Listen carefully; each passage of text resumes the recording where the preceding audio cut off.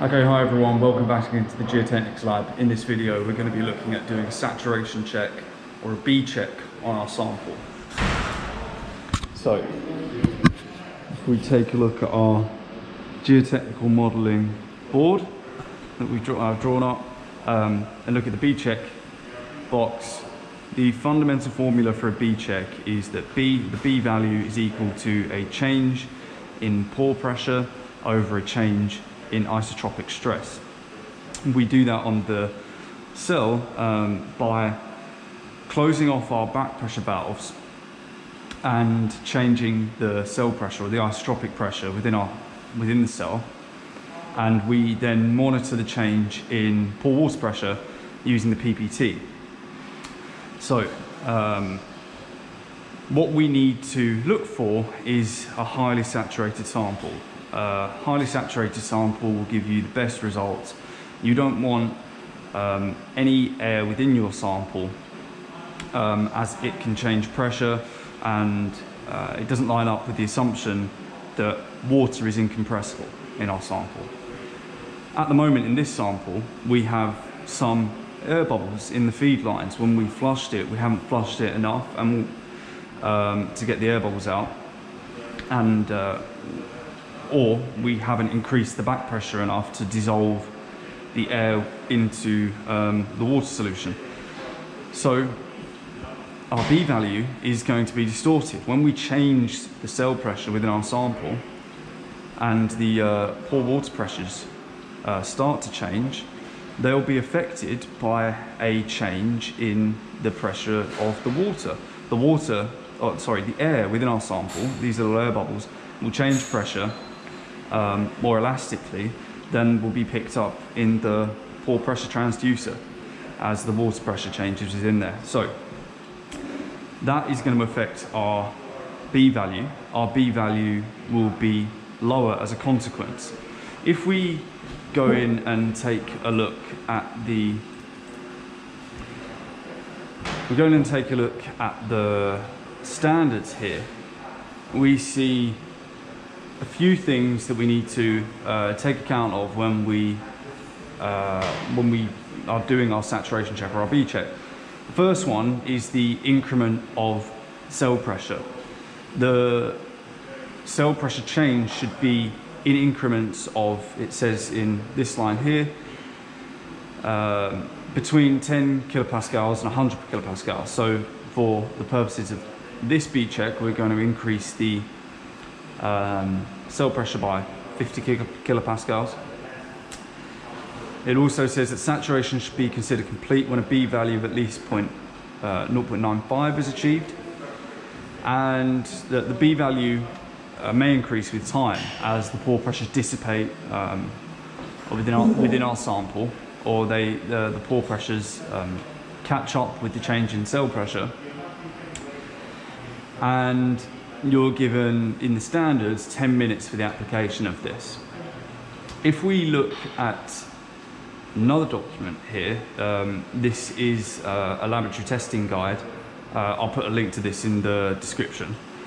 Um, we see a table here provided by Black and Lee, uh, 1973, uh, that talks about the degree of saturation needed for uh, and the different B values that you'll get out of this. So for a 99% saturated sample, your B value, that is the change in pore water pressure over the change in isotropic stress, will be 0.93. Now, as I've already mentioned, in this test, it's unlikely we're really going to get that high. For one, the there is obviously some air content within the lines and there might still be some in the soil, but uh, due to time constraints, we're trying to speed this up, but that's something you'll need to be aware of. Um, and also, uh, we just haven't really let this saturate for long enough at the, at the sort of lower pressures. Um, we could well, wait for a very long time and hope that these um, that more water flush into the sample or, or we'd flush our sample for longer so that the air fell out and then resaturated but um, so for this purpose it's unlikely we're going to get to uh, a high value but just for now um, if from Black and Lee in 1973, there's another chart on that screen if you want to get a 95% saturation level, which isn't too bad for uh, what we're going to be doing to the sample during consolidation, during shearing, uh, we need to get a B value of 0.7. So let's look at working this out on our triaxial cell. So I put on the board here just the three steps in order to do a B check. Make sure the back pressure valves are closed, change the cell pressure, and then monitor the change in pore water pressure. And that will be over a, a period of 10 minutes as stipulated by the standards. So first things first, close the back pressure valves. Again, back pressure valves are denoted by the fact they're on the, the smaller of the pipes. And now we have those closed, I'm going to open up the controller window. Um, and we see our fields here. Um, the ones we'll be looking at will be this B value chart. I've just initialized this so that uh, the application has recorded, recorded the initial cell pressure of 350 and you can see there are the pore water pressure within the sample, now it's closed off to the back pressure controller, is uh, 289. So I'm going to set my cell pressure to 400 and set. And now my cell pressure is climbing uh, up to 400, it's going up there. And you can see on the yellow line as well, the pore pressures are changing too. We're also getting the B value increase. And you can see that this is going up over time as the pore pressures catch up with the change in cell pressure. And that's why we leave it for this 10 minutes here. So I'm gonna set a timer for 10 minutes.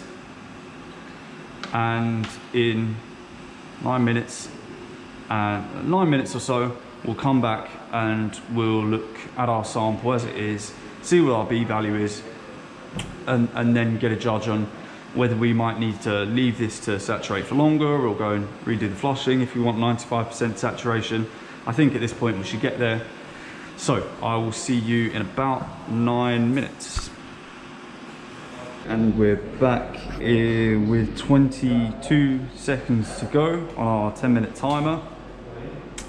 We can look at our B check and find out what level of saturation our sample's at. And if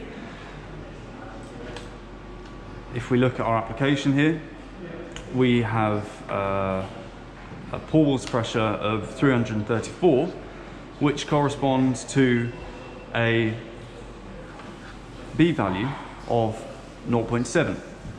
So for our purposes, especially considering we have air in the feed lines as well that is being compressed, we have at least a saturation of above 95%. So for our purposes, for the rest of this experiment during consolidation, during shearing, we should, uh, we, we have a good level of saturation for the rest of this experiment. Now again, just to reiterate, standards stipulate that you want around above 99% um, saturation in the sample. So um, realistically, what we should have done for this sample is flushed it for longer, to have the water or have the air bubbles uh, flow out of the sample and saturate our sample further. Um, because we couldn't put as high pressures on our back pressure controller, we should really have uh, either used different equipment or left it for a lot longer. But um, we're happy now with our, uh, with our B check. So what I'm gonna do is I'm gonna ramp the cell pressure back down to 350 set cell pressure to return our sample uh, to the value we had before. And you can see the, the B value uh, number there is, is, tripping out. If I was to initialize this, again, it would give me um, a negative B value, um, B value change as the uh, change is taken, the, ch the, change, it doesn't matter what direction it's in, um, the change in pore water pressure uh, it will go down. Unfortunately, this application does get buggy at times, so I don't think it's going to um, work because I initialized it uh, after the change in cell pressure, but that would still work. You can do a negative B check also. So once these, um, once the cell pressure is reduced, it's now at 350, which is uh, good. The pore water pressure is decreasing we need to wait for the pore water or the pore pressures to dissipate so that they're back down to 300, the level of the back pressure. Um, and then we can open up our valves, our back pressure valves again, and have the uh, back pressure controlling the pressure within the sample. I could open these now, but I would be opening up my sample to a shock, uh, a big, a quick change in sort of 10, uh, 12 kilopascals, which you often don't want to do. So it's best an idea to let the pore pressure dissipate and then you can open up these valves. So um, we'll let that happen. Uh, you don't need to watch this. We'll return in the next video and look at consolidating our sample.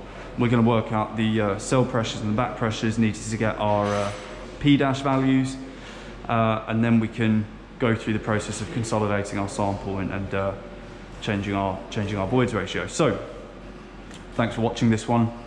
Uh, we'll see you in the next one.